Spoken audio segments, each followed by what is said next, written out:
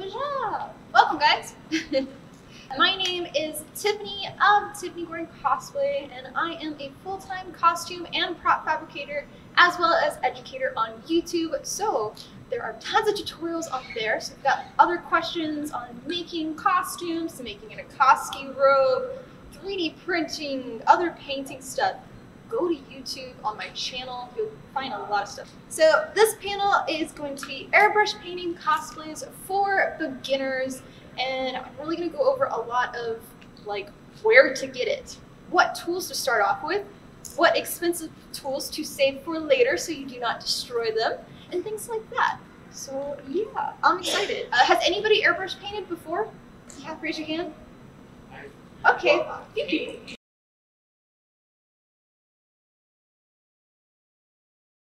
Airbrush painting versus normal painting.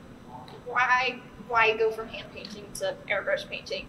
You get a much better results, cleaner results. You don't have brush strokes then, and you can mix colors a lot easier, in my opinion, with airbrush painting, as well as you can get really nice gradients. So like colors like this, going from a yellow all the way to a deep crimson red, and then same of like a brown to a turquoise to a blue. You get really nice vivid colors depending on the type of airbrush paint that you use. And it's my favorite thing. I just love airbrush painting and you can do it on EVA foam, Worbla, leather, fabric, your wigs. So it's a really cool like use of a tool and technique to do on these things.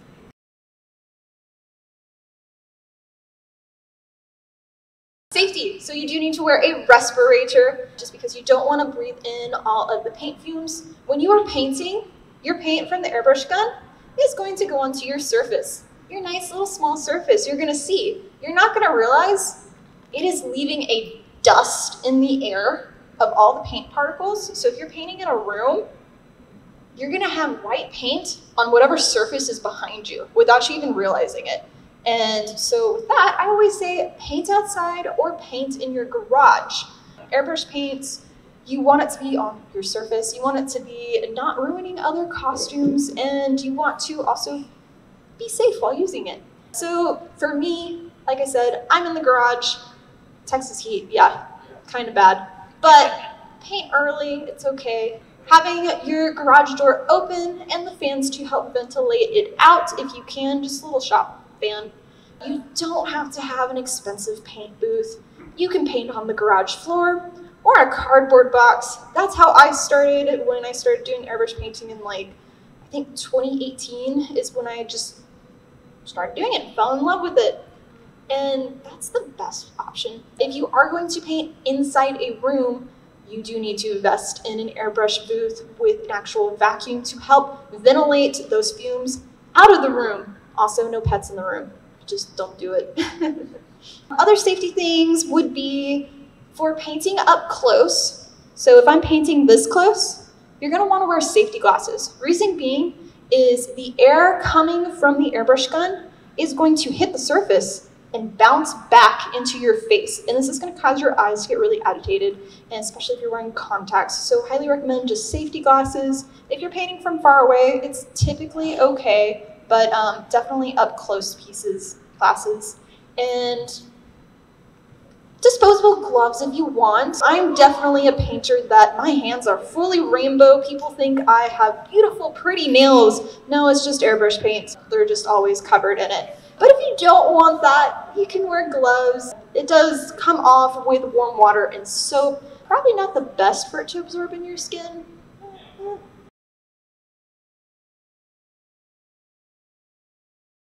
Some of the tools that you're going to need to start airbrush painting. Of course, you're going to be needing an airbrush gun, because obviously that's your main one. And I highly recommend getting one on Amazon, specifically the Masters Airbrush Kit. And this kit is the best one for starting off. It's the one I started off. I've used quite a bit of different airbrush guns, but this one, you wanna look for the Masters Airbrush Kit. It typically comes with three different types of airbrush guns.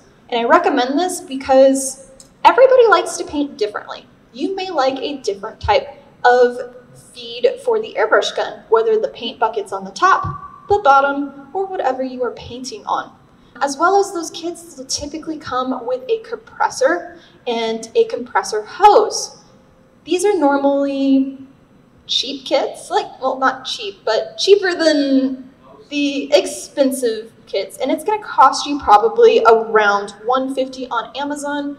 And I say cheap because they're not going to be super high quality and will probably only last you for the gun about a year to two years if you properly take care of it, which starting off you're not going to. Trust me, I went through a few. And with that kit, the compressor is going to last you a while, but the hose is most likely, especially if you're in Texas, with the heat and the humidity, is going to dry rot.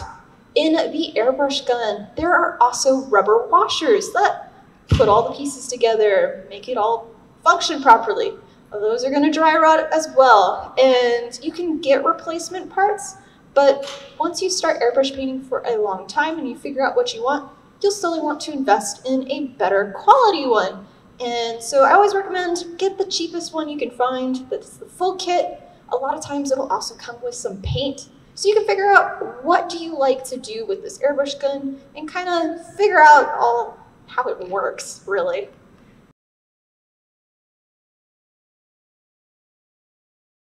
So for storing your equipment, I have my compressor. It lives in the garage. It's in shaded area and same with the hose. I now have a upgraded version, so it lasts a lot better in Texas. But for the starter kit ones, again, those only lasted me about a year and a half. And then I had to get another one. And for your airbrush guns, you need to store them inside. And so whatever box it came in, keep that box and always keep the gun in that and bring it inside so it doesn't get ruined. The humidity, you don't want it to start having parts like rust on you and things like that. So that's the best option.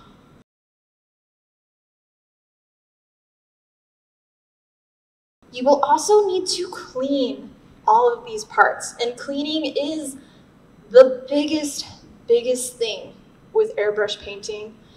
And if it's not cleaned properly, your airbrush gun is ruined the tiny little paint comes out of a little hole that is less than a millimeter thick, or like circle of a millimeter.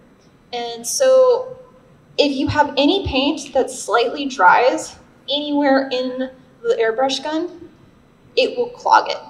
And it is a pain to clean it and to get rid like all of those particles. So for cleaning an airbrush gun, you're gonna need to invest in a few more products that don't come in the kit.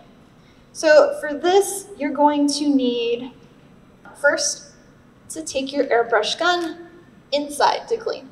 You're going to want to fully disassemble every single part of the airbrush gun, including the very tiny, tiny little tip. It's like a gold piece like that big typically, with an even smaller little tip that has a special little wrench to come and take it apart. Be very careful because that piece, if it's dropped, will crack the threading and that part is annoying to replace.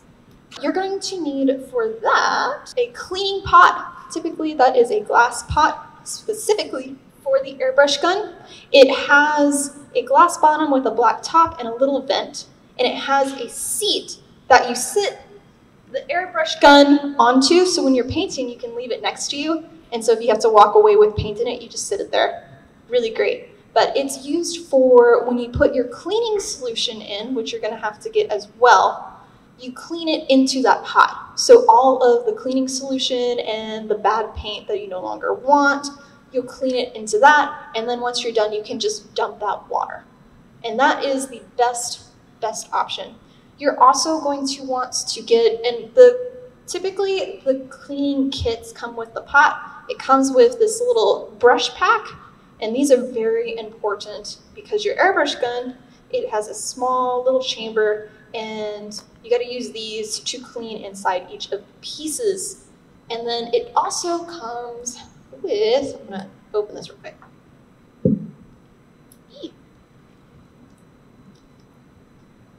This thing. and I'll pass these around. Please do not poke yourself with this.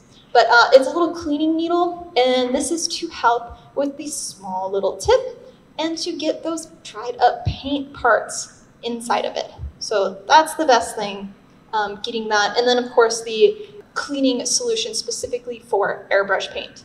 All of that, get on Amazon. And all uh, that should probably cost you about $30.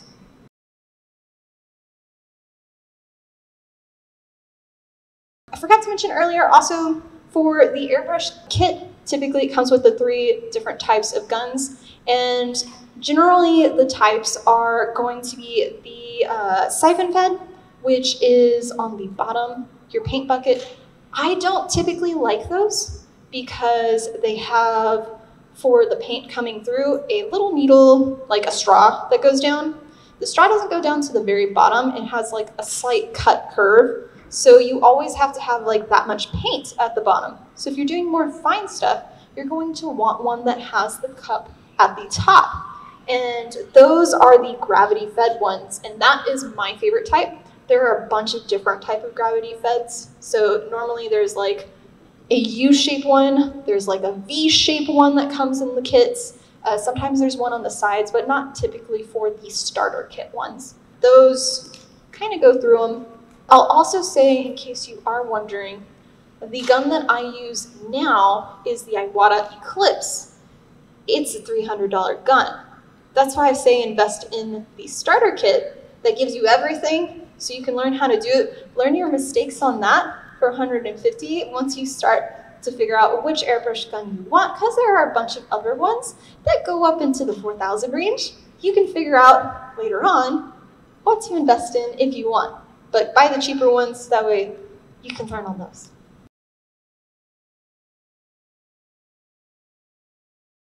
For airbrush paint, so there's a bunch of different types. And the ones that come in the kits are cheap, but they'll do the job. It'll be fine.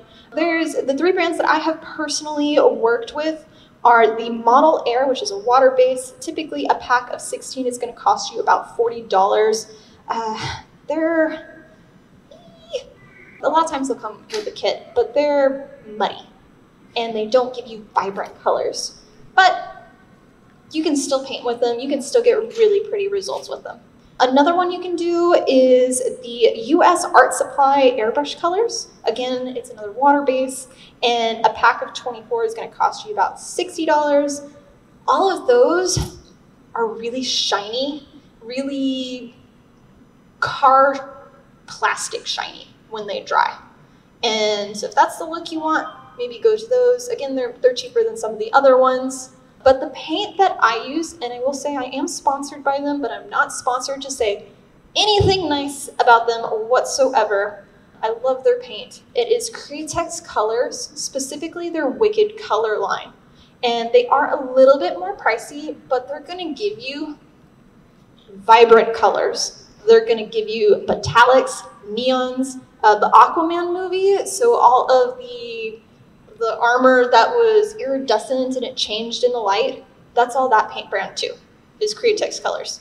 So they're really great, but a pack of 22 is going to cost you about 100, and those are for like the small paints. So a little bit of a price increase, but you can still do all of the cheaper ones. They work just as fine. And then later on, invest in some of the others. And I'll be passing out some of uh, my samples that I keep around for airbrush painting so you can see. Yeah, I highly recommend also for painting, doing samples so you can learn a lot. They're so great.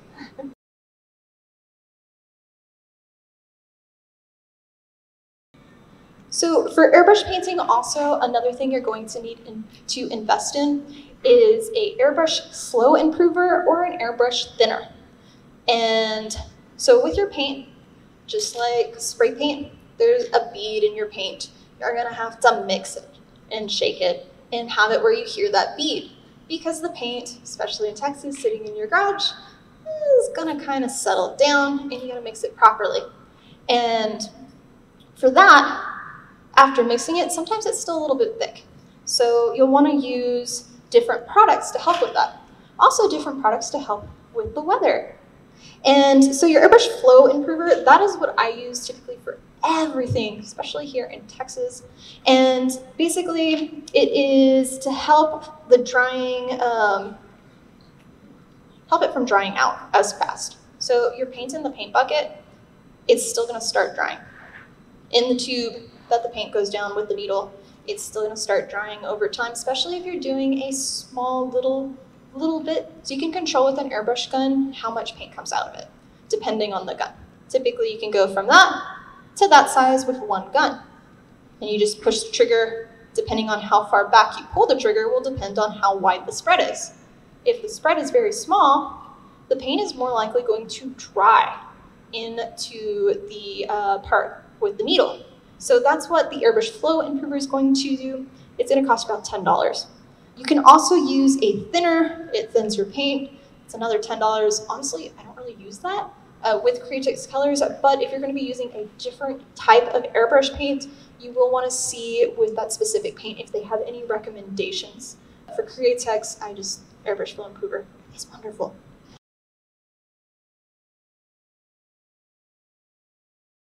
All right, so moving on with airbrush painting. Airbrush painting is all about painting in layers and starting with a base coat. So if your base coat is white, it's going to look different with a red on top of it versus if your base coat is with a black. And I'll show you, so both of these stacks here, which I'll show you, are the same exact colors, but with different base coats. And these are my samples I keep with me every time I airbrush paint, so I can simply look like, oh, okay, I'm gonna do this base coat to get this one. But let's see, I'll do a really noticeable one. Same color. One with the black coat as the base and one with the white.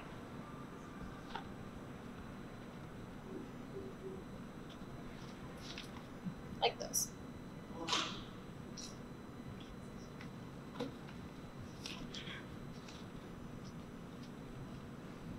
And I'll pass these together so you can see them.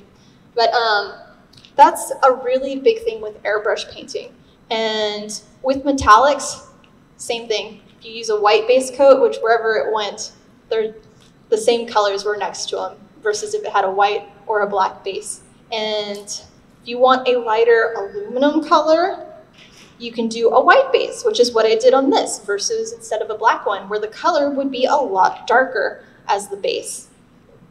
And with airbrush painting, you do it in light coats. And you don't have to apply it super thick. It comes out pretty easily with the airbrush gun, and it's a lot thinner than painting by hand. Painting by hand is just, in general, when applying the paint, is going to be a lot thicker on the surface. And if you're doing EVA foam, it's more likely going to crack and come off. Versus airbrush paint, it's more likely going to stay on the surface and you're more likely going to be able to bend. And if there is a crack, you can use a heat gun and lightly go over it on that surface and the crack will go away. I had that with traveling with my hammer and I just used a light heat gun onto the top and now you no longer see the crack. Worked great. Only works though with EVA foam, Plasti-Dip, and airbrush paint. So not hand painting.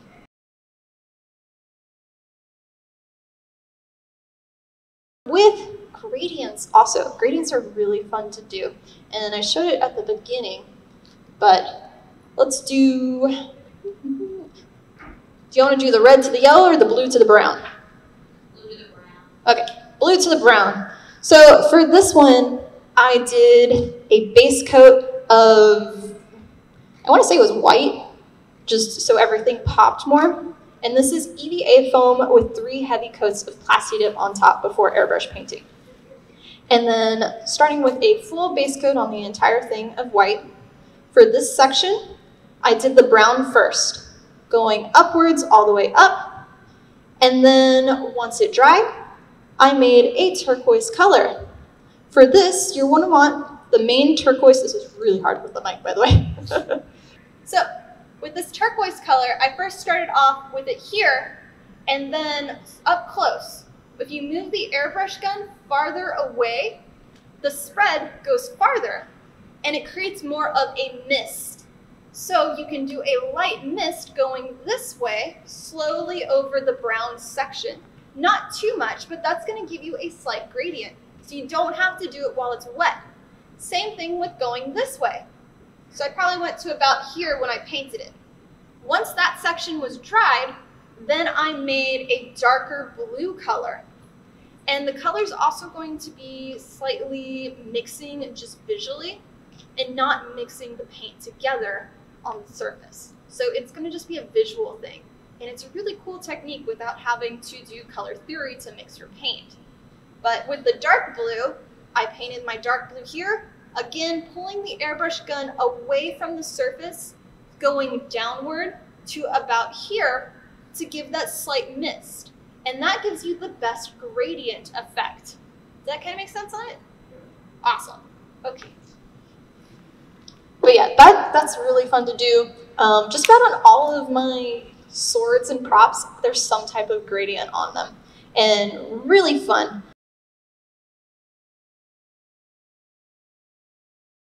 Um, I also recommend, so most of the starter kits, they come with a color wheel. If you don't have a color wheel in your color kit or in your airbrush kit, invest in one.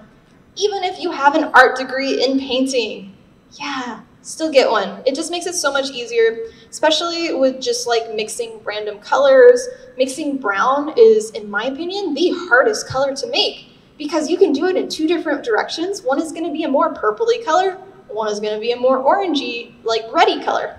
And so with brown, buy that color, don't mix it.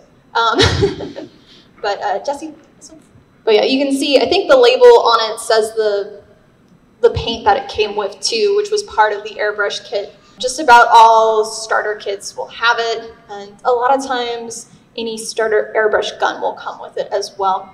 But they're really helpful, especially if you're tired, you're painting at midnight, and you just can't think anymore, and you want to know, okay, what colors do I mix together? So, with mixing airbrush paint, you can just do it in the bucket, like the little cup that the paint goes in. And I just typically, depending on the color I want, will do like a 50-50 mix. And then you want to leave a tiny bit at space at the top to put in your flow improver or your thinner. And this is really just going to help it all go. And then once it's in the bucket, put the lid on top. The lid has a hole on the top. It needs to always have a hole there. And you will put your finger on top and then shake it a bunch. Do a test little thing on the wall or whatever cardboard box you have to make sure it's the right color, and then you can paint. But uh, with the hole on the cap, so your airbrush gun doesn't need to breathe.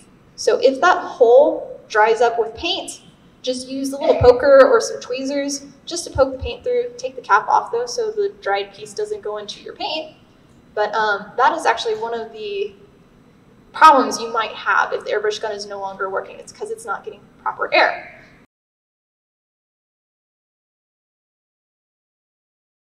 shading. So shading is a fun one. And there's a few different ways that I like to shade. You can do it with an airbrush gun with just small little details, trying to airbrush paint a small little line around everything. That's so annoying. I honestly don't paint that way. But it can be helpful. It just depends on what type of airbrush gun you have. If you have one that is able to do a lot finer detail, then all forth, go. But the really easy way to do it, which is how I paint all of mine, is for the shadowing, you have to work in small sections and it's going to depend also on the weather outside. So if it is hot outside, let's say 80 degrees to 120, your paint's gonna dry a lot faster. So you gotta work in smaller sections for doing this type of shading technique. But, so for a happy, our happy little flower here, sunflower. For this, for shading, I got just a kind of brown black color and heavily applied it just on this area, covering the entire painted yellow spot. With a paper towel, while it is still wet, wipe it all away. It's going to leave the black into all of the creases and you're gonna have a much easier, much faster way to get shadowing versus you trying to do a tiny little line or trying to mask off sections. So that's the way I do it. With all of the armor I'm wearing today, that was the method for doing all of the black and the shading. and really easy. You just gotta work in smaller sections at a time. So, oh, and don't use oil paint. Don't do it. Don't do it on any of your projects. Don't don't mix it. Don't. It, it's ruined so many cosplays I've seen from people. So just avoid it. Yeah, oil paint takes forever to dry, so don't. Um, also, with painting, don't mix different types of airbrush paint brands. So if you are using a Model Air versus a Createx color, even if they are the same type of water-based paint, they are going to give you different results. If you are painting uh, the whole piece with Createx colors and you go with Model Air for your black paint, it's gonna dry a different shine. So it's gonna be more matte, where this is gonna be more shiny. Also, there's sealers that can help with that. But in general, mixing them, it's gonna cause problems. So if you are going to paint, try to stick with one brand for that specific project.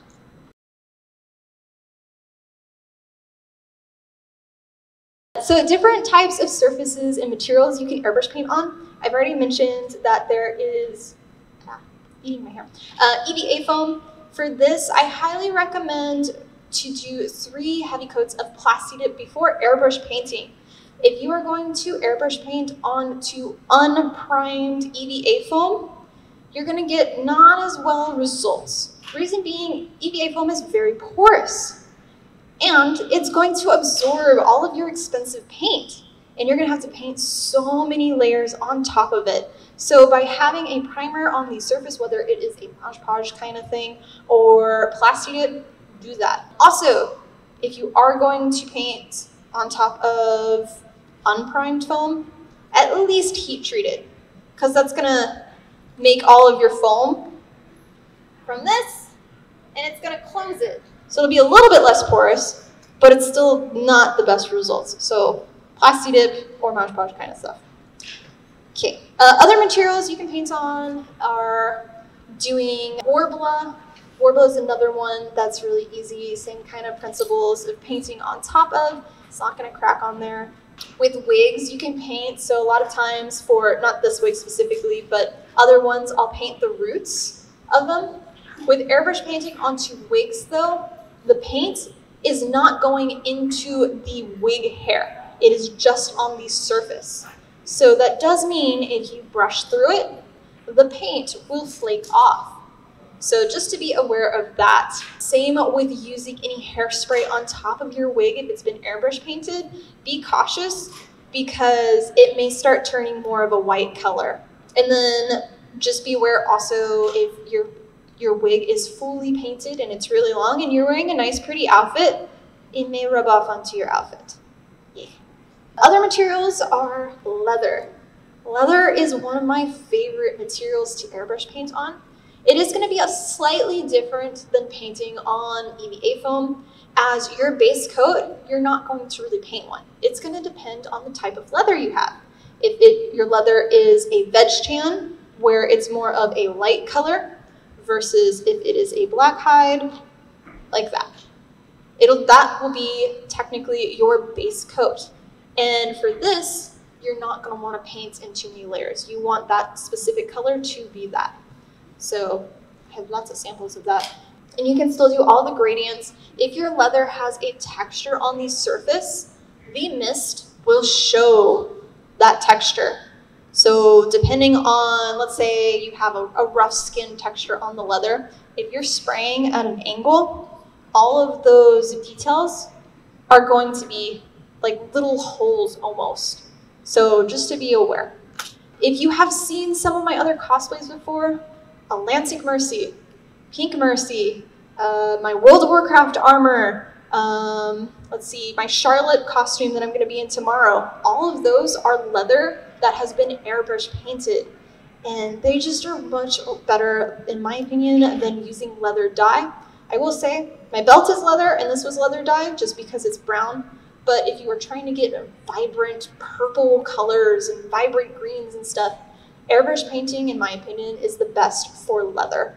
And a lot less messy. You won't ruin the whole room and dye the floor. It's a whole nightmare.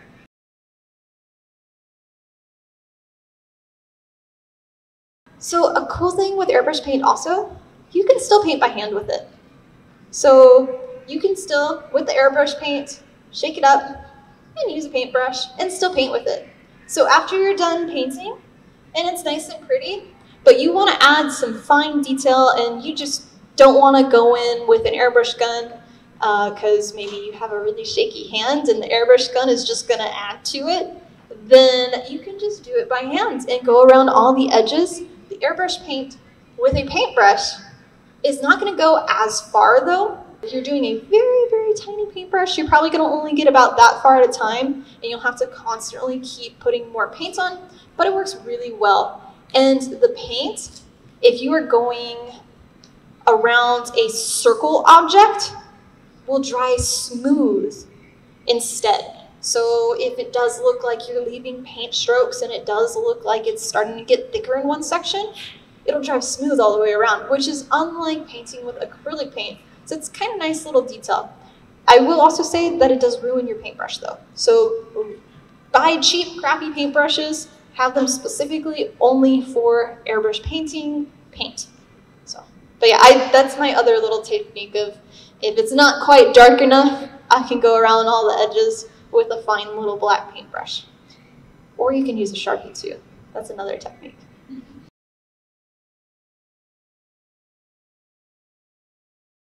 Is weather. Weather really, really affects your airbrush paint. And humidity as well, and just everything in between. The best airbrush painting days for me are when it's 70 degrees and there's no humidity, and that's painting in my garage. For that, your paint's typically going to dry in about 30 seconds to a minute, depending on how thick of a coat you did. So it's really fast to paint with airbrush paint versus if you're painting with acrylic and you gotta wait like 30 minutes between each coat. But um, this way you can just keep layering it, keep painting other sections. Really easy. If it is 70 degrees and higher, but humid, it's gonna take you about five to 10 minutes for it to dry. And a lot of times when I start dealing with humidity, once I'm done painting it, I bring it inside to dry because it's most likely not as humid inside, hopefully. If it is cold, 50 degrees to 70, again, it's gonna still have a little bit of a longer drying time. For this, you will start to have a little bit of air issues with airbrush painting, with sometimes it not feeding properly, just because it's a little bit colder. The paint likes to work when it's warmer. And it's gonna take you probably around three to 10 minutes to dry. So the drying time definitely increases. Now add humidity. It's gonna take you about 30 minutes to higher to dry. Definitely take it inside if it's like 50 to 70 in humidity. If it is below 50, all the same issues. I don't recommend painting in this, but I have. Um, I've done that in my garage, and I have a heat lamp next to me because I am cold after it is 70. And, you know, Texas girl, I'm sure there's a bunch of other people too that have that same issue. Your paint, when it comes out, when it's below 50, is going to start looking splotchy. The thinners that you use, it's going to start having a lot more liquidy stuff coming out of it. And your paint, you're going to be paint, paint, paint, paint, paint, just like random little watery spots coming out of it, and that tends to happen a lot more.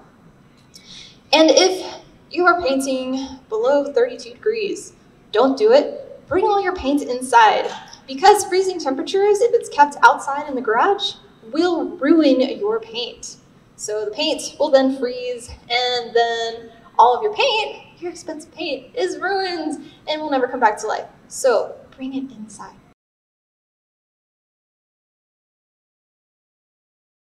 I also say with painting, masking off your layers when painting. Best thing to give you the best results. If you are plasti dipping, don't apply masking tape to your plasti dip. Apply your base coat to whatever colors you want. And then after that color is done, you're happy with, let's say, I've painted all of the blue and the brown vine section. So then I would mask it off. For masking tape, you want to get the expensive tape, Scotch brand. Don't get painter's tape. Painter's tape does not work, especially in Texas. And with the Scotch brand expensive tape, you will want to rip it into sections with the tape. Put it onto your leg and then put it onto the surface of your piece. The The reason for doing this is it's going to make the stupid adhesive that's really, really sticky a little bit less. And yeah, you can buy less adhesive sticky tape, but then it's not actually going to stick to your surface. So that has always given me the best results. I have never had an issue with doing that technique. And yeah, it's pretty good. I will say with masking off sections, so I don't really care if I have, if I'm only painting the blue and the brown section and I'm not going to paint the shaft section of the key, the yellow and the orange and the red, I'm not going to care if there's mist going onto that. Because once I'm done with the brown vine section and I mask it off, I'm going to do another base coat to cover all of that again. So it's going to save you a lot more masking off time, but then you'll just do another like base coat of, let's say, yellow or white, and then I'll do my gradient on top of it. And that's how I kind of did this one. That is kind of the basics not really basics, but basics for airbrush painting. Have any questions?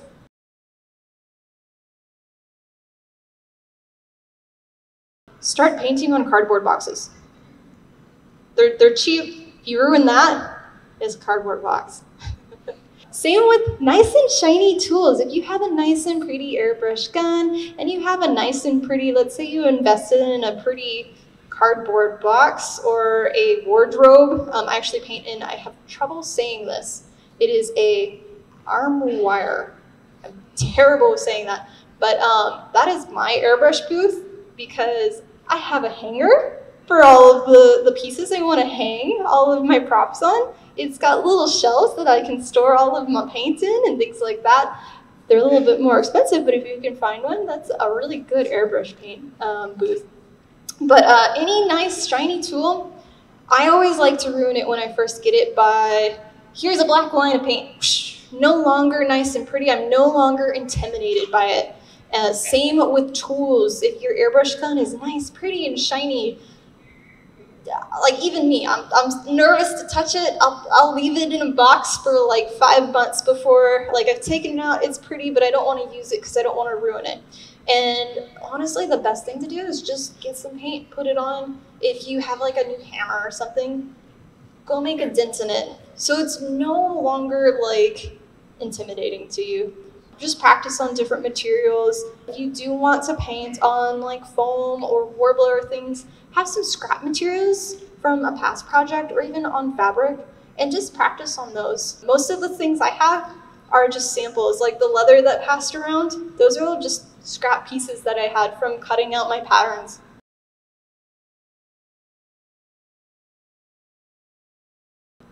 The gold diamond, so this is EVA foam and it is attached to the full breastplate. And then for this, so I started off for all of this armor. It's three coats of heavy Plasti-Dip and then I did a base coat for the gold with white because I wanted it to be a more vibrant gold and not a bronze kind of color if you did a base uh, coat of black, it would have done a lot darker and bronzy. So doing the white first, wait for it to dry. And then I did, it's technically the pearl copper color. So it has a little bit of a, a shine to it. Createx colors, by the way, they have a wonderful metallic lines, a quicksilver to give you all of this metal look, so you don't have to mix a gray. It's, it's already silver, same with golds and stuff. So doing the pearl copper. Then after that, I mixed a black with the Pearl Copper, and then I did, I think I did a little bit of like a brown mix to it too, so it wasn't just stark black on top of it. And then put that on while it's wet with the paper towel, wiped it away so the black stayed in all of the areas. And I like to go back afterwards with a little bit of that original gold just onto where I want it to be the highlighted sections. This is gonna make it so it doesn't look as muddy and it looks more intentional for you where you did all that shadowing.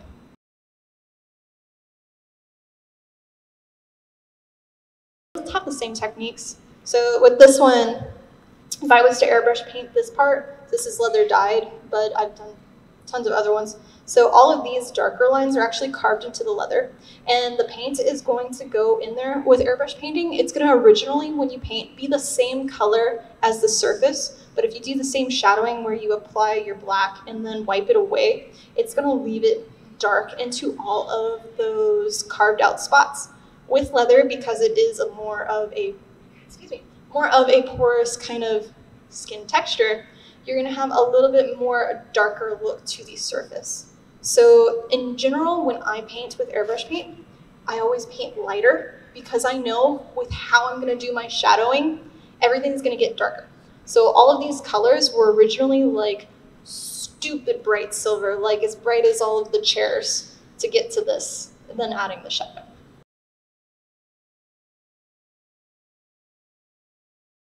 So for sealing it, I do, so there's two types that you can do. Um, I prefer to do Createx Colors UVLS their line for that. It is specifically for sealing their airbrush paint and it's to protect it from all of the sun rays and also it just makes it all different consistencies. There is different finishes with their line. There's a matte, a satin, and a gloss. And on the foam samples I had, if you notice that it was three different kind of shines, that was actually with their specific sealers. And at the bottom, I had like a M, G, and S to say which one it was. Another option, which is what I started off with with airbrush painting and can be somewhat of a cheaper option and a much more easier option to get, is the Rust-Oleum Clear Enamel Spray Paint. And it comes with, like, you can get it in a matte, a satin, a semi-gloss, and a gloss. And I used that for a very long time with that product. So on on your foam though, it is, you're not gonna really want to use a heat gun afterwards because it can slightly bubble that um, from the surface. Also, with doing this for more than 10 years, I have noticed my original props that I did that with, they're now becoming a little bit sticky and they're now starting to get a little bit of a yellow tint. So certain costumes, specifically with Worbla and doing that same type of painting technique and things, are now starting to have issues. So just things to be aware of if you want to store your cosplays for a really long time.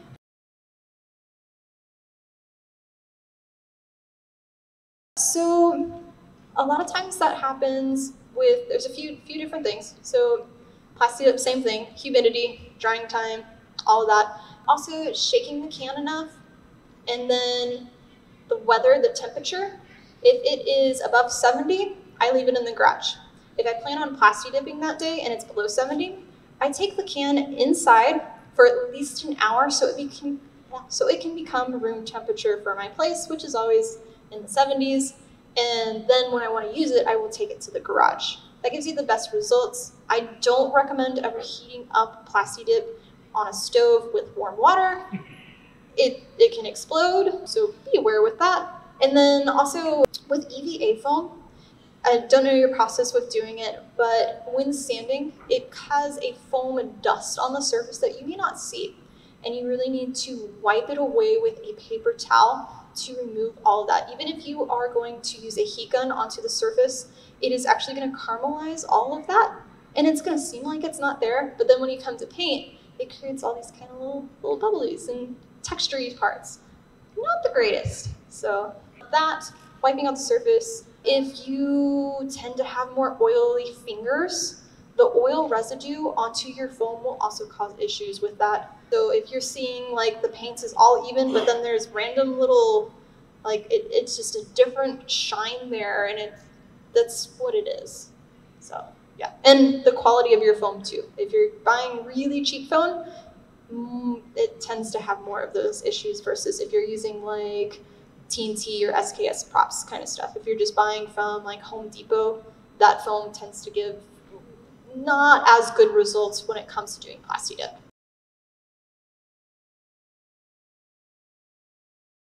You can use the, the UVS sealer with the airbrush gun. I don't like to just because it is really thick and you gotta thin it out. And also because I paint in my garage, I don't wanna do that in my garage. So I apply it by hand with a paintbrush and then I can just be happy in AC and do it there.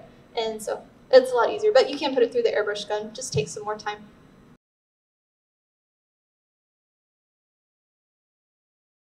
Sometimes it depends on the type of brush that you have. So you want to get one that is not a thick, typical painter's brush. So like in Home Depot, the, the paint brushes they sell. Don't get those. Go to let's say Michael's or Hobby Lobby into the actual painting section, you want to get a paintbrush that has more fine bristles and has a flat line. Um, stay away from like the watercolor kind of brushes, but you want to apply it. I'll typically use a brush about this big to that big, and it goes really far. And you want it to be evenly applied onto the surface.